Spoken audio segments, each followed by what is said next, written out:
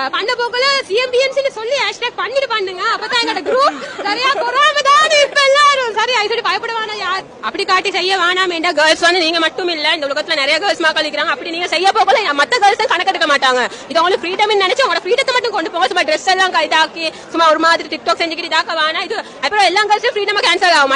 இது நடக்குது. ஃபேமிலிஸ் என்ன சொல்றாங்க? இன்னொரு குட்டி அப்படி காட்டினாக்குள்ள எல்லாம் சொல்றாட்டி நீங்களும் இப்படி ஆட போறீங்கன்னு கேக்குறாங்க. அதுதான் சொல்றாங்க. அது சொல்லிட்டு அப்படி எல்லாம் செய்ய வேணாம். உங்களோட ஃப்ரீடத்தை நீங்க எப்படி கடைபிடிச்சு போறீங்க அது உங்களுக்கு அது ட்ரீம் நினைக்கவே இல்லை அது உங்களோட சந்தோஷம் நினைக்கவே அசல் அப்படி ஃபாலோ பண்ணுங்க. மத்த என்னென்ன? பாய்ஸை பத்தி அஹ், கணக்கெடுக்க